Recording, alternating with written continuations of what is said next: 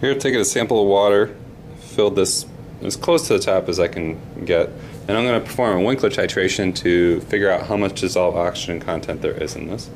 So, in order to do that, what I want to do is I want to add two solutions. One is uh, manganese sulfate. Just want to add a little bit of Mn2 plus.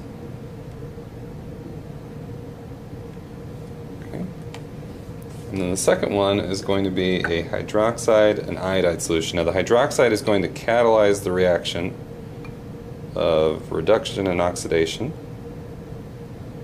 And what's going to happen there is that the manganese is going to form a uh, go from a plus 2 state to a plus 4 state as it changes into this brown precipitate, which is MnO with, with two hydroxides. And the iodide is actually going to get used at a later step. So what we want to do now is we want to cap this. It's going to overflow, so we're going to keep this in a tray and in a beaker. And we want that to be on there where there's really no there's no air bubbles at all. That's well done there. So now you can see this brown precipitate forming and that we are going to later in a second step dissolve in sulfuric acid. And when we do that we're going to form a triiodide ion that's kind of a yellowish goldish color and then we're going to do a titration with thiosulfate. So in the meantime we're going to let this mix for a second just to make sure that we get everything and then we're going to come back and dissolve it in sulfuric acid. So now we've let some of our precipitate settle out. and We can see it kind of making its way down towards the bottom. So now we're going to go ahead and dissolve that in sulfuric acid. When we add the acid, that is going to produce another reaction. And it's going to produce a triiodide ion. So we're going to add concentrated sulfuric acid. Now concentrated sulfuric acid, very dangerous, so we want to be very cautious here. And we're also anticipating this overflowing again, and so we need to be cautious that we try and get that as much into the beaker and not splashing or doing anything of major damage. Now, at this point now, this is now stable, um, so I could leave this for a while if I wanted, and then come back later and do my titration. Uh, we're going to go ahead and let it mix a little bit, and then we're going to come back and do the titration with thiosulfate and figure out our content.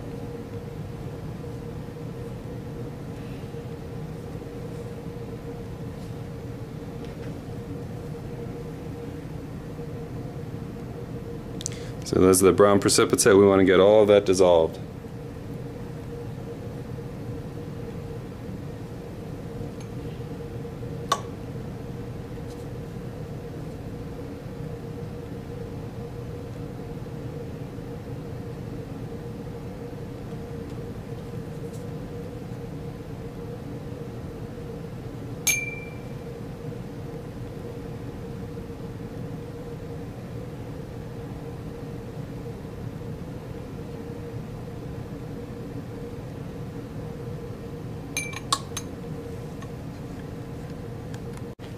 So we're now ready to begin our titration. What we're going to do is we're going to take our burette, we're going to get 25 milliliters of this and we're going to add it to an Erlenmeyer flask.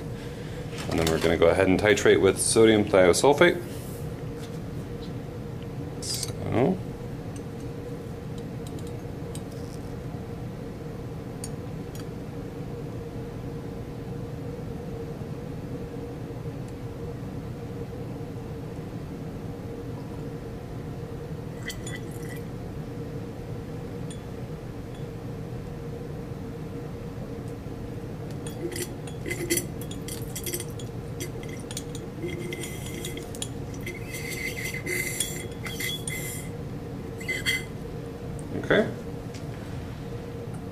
And currently, uh, we have our titration apparatus set up right here with the sodium thiosulfate. Now, for the endpoint on this, we're gonna we're gonna be looking for the removal or the changing of the iodide complex into iodine. We're gonna do starch to do that, but if we added the starch now, it's so concentrated that it would uh, it would potentially be irreversible to get that out of there. Um, so we're going to actually start the titration and take that gold color down a little bit first.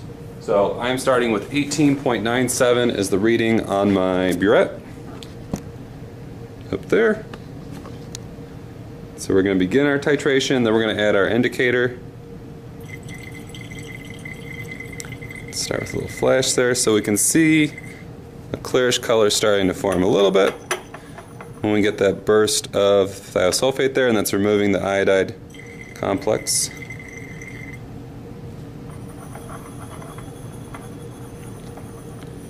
It looks like I might be going a little faster. So let's actually go ahead and add our starch now. So now you can see the color change definitely, where it's almost clear.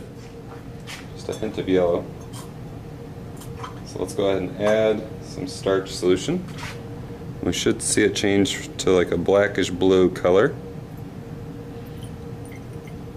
So now we can go ahead and continue with the titration in a slower fashion until that end point is gone.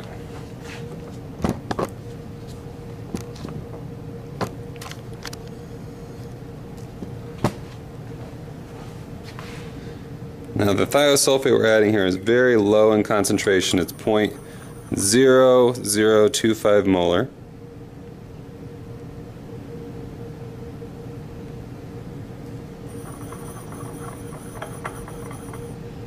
Yep. Looks like that we might have hit our endpoint. Perhaps even a little too fast. All right, so we might be off by a couple drops there. So now let's go ahead and take our final reading. So we have to scoot this down to see.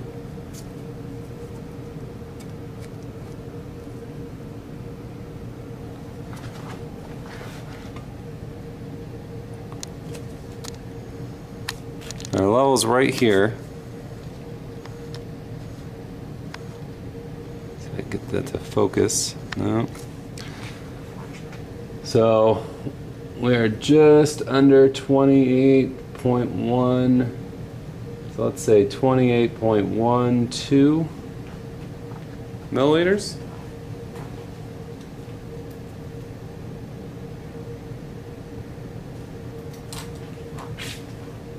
And so we went from 18.97 milliliters on here to 28.12 milliliters with 0.0025 molar sodium thiosulfate. So we can figure out the amount of sodium thiosulfate used and then go backwards and then we can go through and we can talk about what the original amount of dissolved oxygen was in there before we did that titration.